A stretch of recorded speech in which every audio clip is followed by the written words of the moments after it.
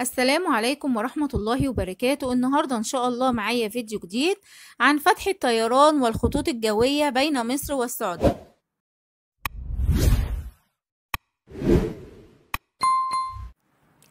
في ظل الظروف الحالية والأزمة الحالية في العالم كله التي قد كان سببها فيروس كورونا الجديد مما أدى إلى إغلاق الطيران بين معظم الدول المختلفة ومنها دولتي جمهورية مصر العربية والمملكة العربية السعودية.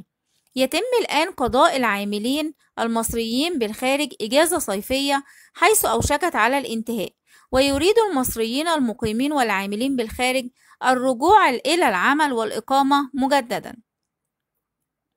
وأكدت مصادر من وزارة الطيران المدني أن من الممكن دولة السعودية أن تسمح لبعض الفئات للسفر من مصر إلى السعودية مباشرة. ولكن ذلك بعد أن تتأكد الدولة من أن هذه الفئات قد حصلوا على جرعات اللقاح في السعودية عند تواجد هذا اللقاح. ولذلك فإن من المقرر عودة هذه الفئات وانضمامهم إلى الفئات الأخرى المستثناة من تعليق السفر ومن هذه الفئات المواطنين السعوديين والدبلوماسيين وأيضا العاملين في قطاع الصحة بالسعودية.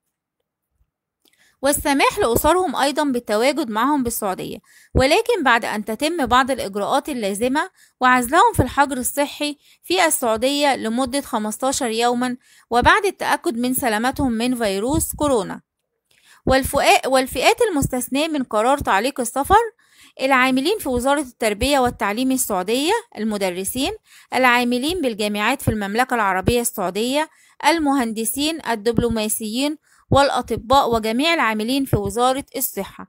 كده الفيديو معايا خلص. ما تنسوش تعملوا شير ولايك واشتراك في القناة. والسلام عليكم ورحمة الله وبركاته.